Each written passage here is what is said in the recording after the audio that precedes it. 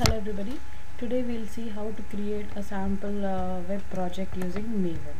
To do that, we need to right click, say new, go to other. You see Maven project here. If you don't see Maven project right under the wizards, you have a filter that you can type in the text and you can see say Maven and you see the Maven project. Click next when you click next there are a few default values. We let everything to be default. We don't create a simple project or anything because we'll be writing our own code. So we'll just ev let everything to be default and click next. And then it is retrieving the archetypes for us. What is this archetypes these archetypes are different uh, for each different application that we want to use. In here we want to create a web app. So we search for web app. Okay and then in the filter you can see the different web apps. J re related to jboss. Okay? We will select j2ee 1.4 we have 6 and 5 as well but there are few issues with maven and eclipse. So we'll see in the next tutorial how to resolve them when we use 6 or 5 but in this we'll use j214 and then click next so the artifact id is mainly the project that we want to create. That is my first web application. You can have any version number you want. You can even select even even edit it. Okay? And as per the properties there won't be any properties as of now because it's just a basic project. Click finish. So it's creating a web app based on all the dependencies and updating the dependencies. So once it's done what you will see here is you will see M right above left hand side right above the project. So you can see that's a Maven project. So this is the folder structure of the Maven project. Okay. And the main file in the Maven is pom.xml file. So what are all the dependencies you want? What are all the plugins you want? What it want what you want it to do? You have to include everything in the pom.xml file because we have selected J2EE14 what Maven does is Maven includes the servlet and JSP dependency by default for us because that is a web application that we have selected okay?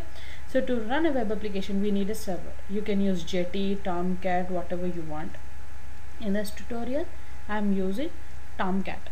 So you can refer to my other tutorials where you will see how to plug in Tomcat into Eclipse okay after we plug in Tomcat into Eclipse, I have used Tomcat 7. As per the Maven, we need to add it to the plugin. So presently the compiler for the Maven is Maven compiler, but you need to replace that with Tomcat. So this would be org.apache.tomcat.maven and this would be artifact id would be tomcat 7 is my version that I have. Okay so include tomcat 7 underscore maven. And the version of tomcat that I am using is 7 so as per the configuration I won't have anything as of now. So this is how you set tomcat as a plugin into this. So when we create a default web application what it does is it creates an index.jsp file. So this is just a blank JSP file which says hello world so uh, if you see web.xml file in web app, web and web.xml file, the welcome file is the index.jsp file. So whenever you run a, a, web application on a server, the default file would be launched. That is the welcome file index.jsp. Now we'll see the same thing over here. So we don't start the Tomcat manually, we'll pass a command to Maven saying that run the Tomcat. Okay. And then uh, you go to pom.xml file right click run as you say maven clean. What maven clean does is it cleans all the files if there are any previous files it deletes the target folder where exactly the tomcat is if you have the war files. It deletes it clean make it clean. Xml file run as maven generate sources. So it will generate all the required sources and it builds the file for us successfully but few instances what we see is in the problems there is a project configuration which is not up to date. So we right click on it say quick fix. So what it does is it uh, it updates the project configuration file for us automatically. So there are no problems. Okay after we fix the problem it's just a basic problem that it occurs whenever we create a maven web application sometimes in eclipse so it is not a very big issue you can just quick fix it now right click run as maven build this is the default one but if you have already some configuration set up you can select this if not we need to select this because we need to pass some configurations to it so what configurations based on the server that you are using we need to tell uh, Maven that run that particular server. So my server that I'm using is Tomcat. So I would say Tomcat colon run. So that is the main goal that it has to do.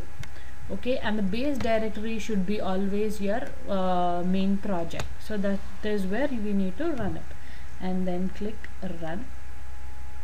So when we click run, what it does is it runs the Tomcat and it runs the war on the Tomcat. So now open this console you see it scans the projects builds the application uh, and see if there are any dependencies. There are few warnings saying that it's missing but it still runs for you.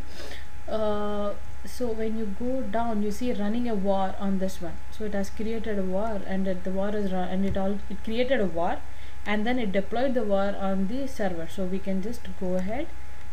You can open this in any browser. You can select here you can select a browser copy paste and just enter. You will see hello world. You see hello world. So this is how we do uh, create a basic web application using maven. Maven builds the application and maven deploys the var. Uh, in the next tutorial we'll see how to create a var manually and then how to deploy it into the tomcat. So here it what it did it, it did it automatically that it created a var and it deployed it on the server. In the next session we'll see how to create a var and then deploy it into tomcat manually. I hope this tutorial is helpful. Thank you